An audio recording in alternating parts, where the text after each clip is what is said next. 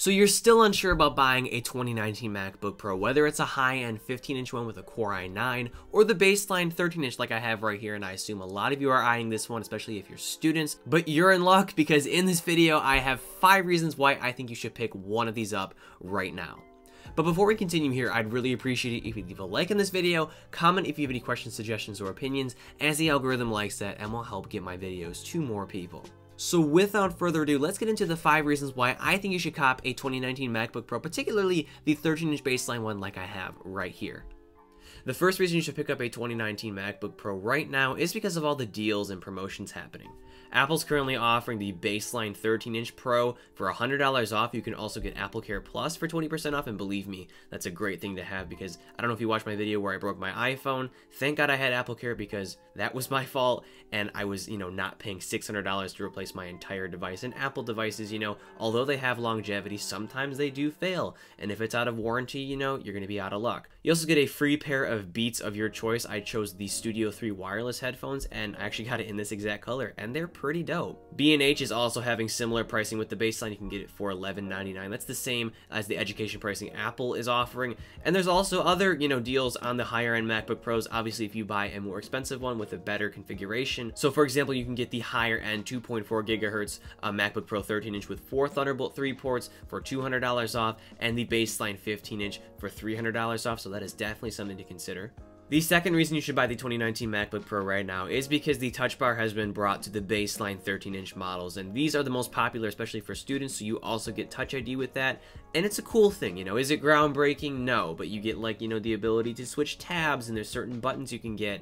You know, it's pretty convenient in some cases. I like that you can use the sliders to adjust volume and brightness, and you also get, you know, the ability to look at all the emojis. So once again, it is kind of a gimmick still, you know, it's not like this groundbreaking feature, but it is definitely nice to have, and is fun to interact with. The third reason you should cop a 2019 MacBook Pro is because macOS is awesome, especially when you have an iPad or an iPhone to work with it. Continuity is a beautiful thing. AirDrop is something I use on the daily when I'm doing my work, you know, transferring photos and other files between my iPhone, my iPad, and my Mac. Um, you have iMessage built in, which is really, really great. I love being able to reply to my conversations with my MacBook, with my keyboard, and the touch bar too with the emojis is kind of cool. And, you know, there are other features of Mac that are great too. The file system is really really, really nice to use. The trash is also severely underrated. It's great to just, you know, drag and drop whatever you want into there, delete, and whatever that is, is gone. Applications, other files, videos, you name it. And yeah, overall, the best of iPhone and iPad can be found in macOS. I mean, all three operating systems, iPadOS, iOS, and macOS, are pretty well related. They work perfectly together. And there's definitely a little bit of a learning curve. I mean, if you're switching from Windows or you're switching from having no laptop at all, but it's definitely worth learning. And once you do, you'll feel really, really productive using this operating operating system. The fourth reason you should pick up a 2019 MacBook Pro is because they are designed very, very well. And I know some of you are going to say like, well, what about the keyboard? And you do have a point. You know, the previous generation ones had kind of messed up keys and they were prone to getting dust underneath them and having to be replaced. Thankfully, Apple has a program if this is ever an issue. And apparently the newest generation keys are different. They have some kind of different switch going on, which will prevent dust from getting underneath them. But even if that happens, which is going to be, you know, even less of a chance now with this iteration, you still have the ability to go to the Apple Store and get serviced. I wouldn't worry too much how this affects, you know, some people, not all people. But in regard to the design, I mean, this thing is built really, really well. I love the space gray color. I really highly recommend you get it. Um, the touch bar, once again, is a really nice addition. The speakers are loud and crystal clear. The keyboard, in my opinion, although it's flat and the travel is a little bit shallow, it's clicky, it's tactile and responsive. The trackpad is ginormous and really great for scrolling and doing gestures with. The screen, too, is phenomenal. Great for creative work, great for really anything you're doing. It's bright and very sharp.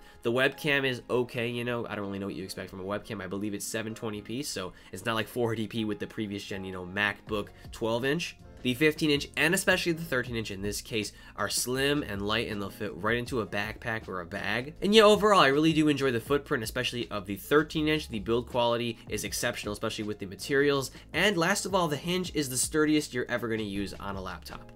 The fifth and final reason you should buy the 2019 MacBook Pro, particularly the baseline 13-inch models, is because they're powerful. Um, every single MacBook Pro has at least a quad-core processor in it, um, including the baseline that I have here, which has a 1.4 gigahertz quad-core i5. It also has 8 gigabytes of RAM and Intel Iris Plus graphics 645. I've edited 4K video on here, exported it even, that was fine. I've played Minecraft at higher settings. I've typed up documents, done photo editing, everything you can name I've done with this laptop and it's been a really great experience. No slowdowns, no nothing. The SSD storage in here is lightning fast and will last you forever. And I speak from experience because I actually am using a 2014 MacBook Pro to record the audio here. I have my mic plugged into it and the SSD in there is still phenomenal. This thing will last you for years. Macs are like that and they don't depreciate in value as fast as, you know, Windows laptops. So yeah, they're all very powerful, even the baseline 13 inch laptops and you're not gonna have any issues with whatever you throw at it. And that about wraps things up. I hope this video helped you out. Once again, I really appreciate it if you leave a like on this video, comment if you have any questions or suggestions,